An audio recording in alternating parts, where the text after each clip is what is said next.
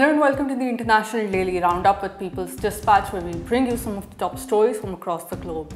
Let's take a look at today's headlines. Taliban offers amnesty to government officials as evacuations resume in Kabul. Death toll rises after earthquake in Haiti as rescue efforts resume. Workers in Chile's Caserones and Andina copper mines go on strike. And in our video section, we take a look at the use of COVID-19 booster doses amid the global vaccine divide. The Taliban issued a general amnesty for all government officials on August 17. The mayor of Kabul and the Afghan health minister returned to work on Tuesday. Meanwhile, evacuations on military flights also resumed out of the Hamid Karzai airport. The US controlled airport was shut down after thousands of Afghan civilians gathered to try and flee the country. Videos showed people climbing onto a plane as it took off from the runway. Gunfire could be heard and at least seven people were killed. The runway was cleared by Tuesday. The Taliban has stated that it will announce a new form of government soon. Senior leader Amir Khan Muttaqi has met Afghan politicians including Hamid Karzai and Abdullah Abdullah. Meanwhile, the UN Refugee Agency has called for a halt on forced returns of Afghan nationals. UN head Antonio Guterres has urged all countries to accept refugees. This followed widely denounced statements made by French President Emmanuel Macron. He stated on Monday that EU members were working on a coordinated response against irregular migratory flows. A senior German official also stated that the, that the country would not pursue an open door policy. The country has cut development aid to Afghanistan. Greece's migration minister also said that the country will not become a gateway to Europe for refugees and migrants. Meanwhile, Turkey has started building a wall along its border with Iran to prevent refugees from entering. Moving on to our second story, in Haiti, at least 1,419 people have been killed after the island country was hit by a 7.2 magnitude earthquake on August 14th. Eight groups have indicated that another 450 deaths have been recorded in the hardest hit area. Haitian officials have also stated that 6,900 people have been injured. 37,312 houses have been destroyed and several churches and major hospitals have been seriously damaged.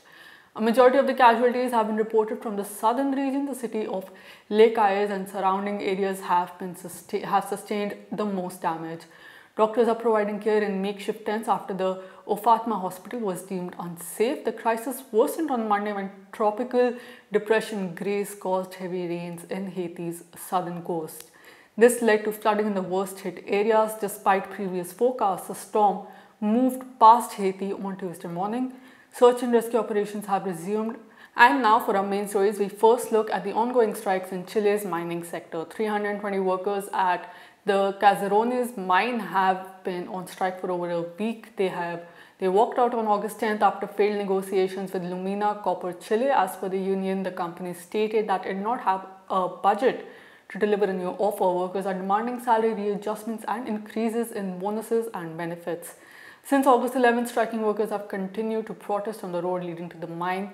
Caserones is among the dozens of copper mines located in the Atacama Desert. This includes Escondida, which is the world's largest copper mine, producing 5% of the global supply. Over 2,000 workers at the copper mine had issued a strike notice to the BHP company. However, the union announced on August 14 that a deal had been reached.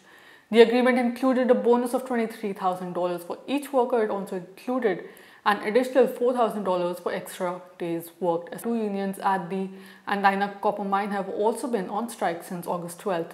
The site is operated by the state-owned Codelco company. Over 800 workers walked out after rejecting the latest contract offer by 82%. They are organized by the Industrial Union of Labor Integration and the Unified Workers Union, now a third union Sindicato de Union Plantas is set to vote on the contract offer. Codelco is expected to present the offer on August 17th. If the vote fails, unionized workers will join the strike. This will bring the total number of striking workers at Andina to 1,300. Negotiations are also ongoing at Codelco's El Teniente division. The contract of 3,300 workers organized by five unions is set to expire on October 31st. And for our final story, we, took, we take a look at the latest on COVID-19 vaccines. The US has joined a growing number of rich countries administering a third dose. The US FDA had issued emergency use authorization for immunocompromised people. Experts are now expected to recommend a third shot for all Americans. This push for booster doses is taking place just as many countries struggle to provide even single doses. The vaccination rate in the African continent remains below 2%. 12 million doses were supplied to Africa through COVAX in July. However, 183 million additional doses will be required just to inoculate 10% of the people. It is in this context that the WHO also called for a moratorium on booster shots.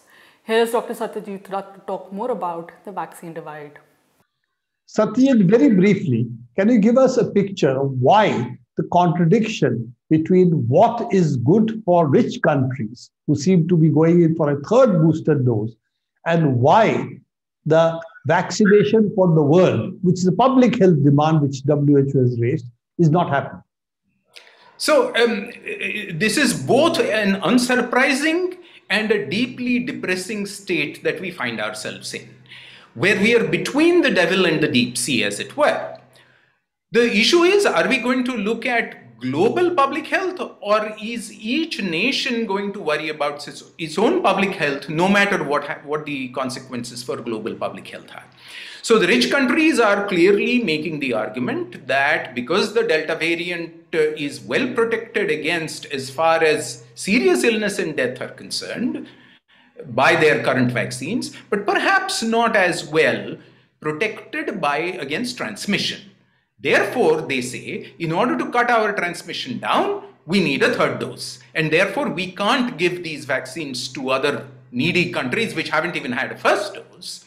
And therefore, we are in this situation where the um, public health needs of rich countries of the global north are trumping, um, very evocative verb, the uh, public health, the fundamental public health needs of countries of the global south. And the reason why we have arrived at this point is a consequence of the capitalist logic of uh, COVID vaccine um, invention and development and production programs, where rather than doing a worldwide, open, inclusive development, comparative testing, manufacture, and deployment and distribution, under the WHO's aegis, as the WHO had um, offered uh, to do in the early months of the pandemic, we have opted for the capitalist logic of big pharma primarily mediating this.